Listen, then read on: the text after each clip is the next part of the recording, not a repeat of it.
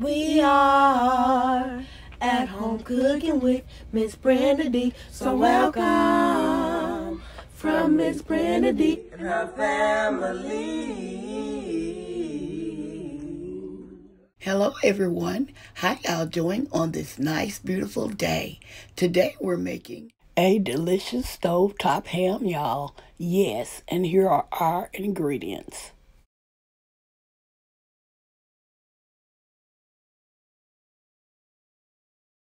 This is a ham that I um, purchased at a local supermarket. It's fully cooked with a bone in. Okay, I have removed the plastic wrapping from my ham and I have taken it to my uh, sink and I rinsed it off with lukewarm water. And now we're going to cook it.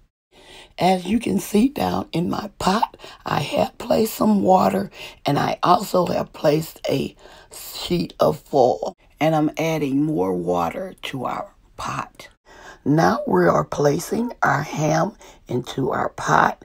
I usually put the skin side down if it does have skin on. This will make the skin side more tender. I'm adding more water to make sure I have enough water in there to steam this ham because um, the water evaporates while it is steaming so I make sure I add enough water in there. Here I'm showing you how much water I have added and I'm making sure that the uh, skin side is down so that it can get tender. Now it's time to turn on your heat. Here I'm adding sugar or you can add honey, whichever one you prefer. This is to help cut down on the sodium in your ham. I'm using like two or three tablespoons. Sprinkle all over the ham. Since our ham has begun to boil, we're going to lower our heat to low and let this steam for one hour.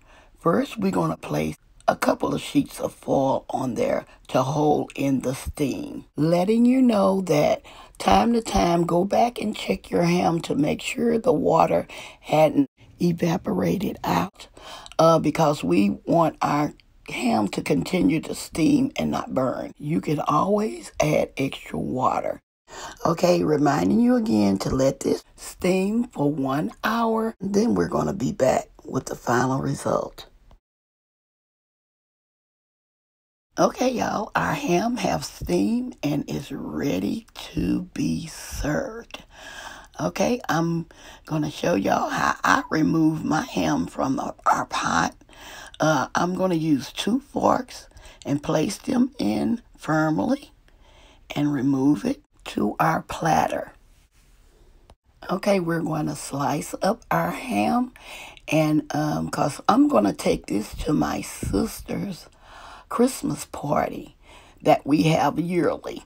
And so uh, this is what one of the dishes that I'm going to bring. I'm going to bring sliced ham and my buffalo turkey wings. Just letting you know, you can also put your ham in the oven if you don't want to put it on top of the stove. This is something I have been doing for years. You can follow some of the same steps that I use with with less water. Um, but it is just so so delicious either way.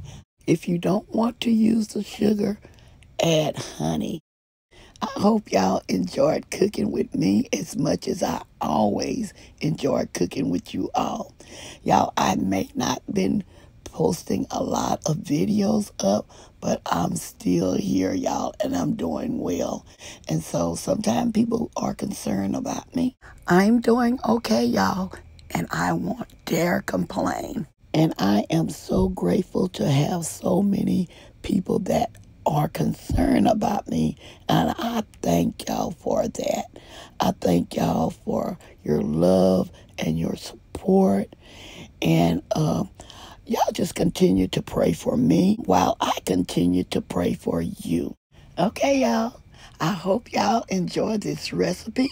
Don't forget to like, share, and subscribe to our channel. And please don't forget to hit that notification bell to get our new and upcoming videos. And to all our new viewers and subscribers, you are welcome, welcome, welcome to our channel. Okay, y'all, as always, I'm going to say, y'all have a blessed day and bye-bye for now. Love y'all. Stay safe and be blessed. We are at home cooking with Miss Brenda Dee. So welcome from Miss Brenda Dee and our family. That's a hit.